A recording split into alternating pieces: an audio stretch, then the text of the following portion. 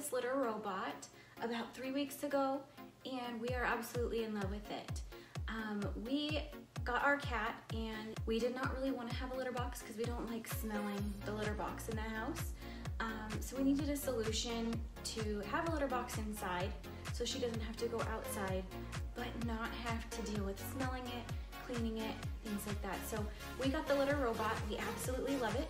The litter robot came pre-assembled and had only four easy instructions. I filled it with litter, plugged it in, and it was ready to go. Lights up blue when it's ready to use. After the cat uses it, it'll switch to red and have a timer before it starts its cycle.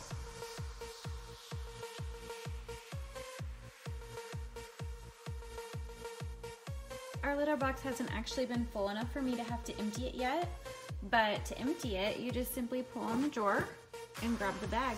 More scooping litter.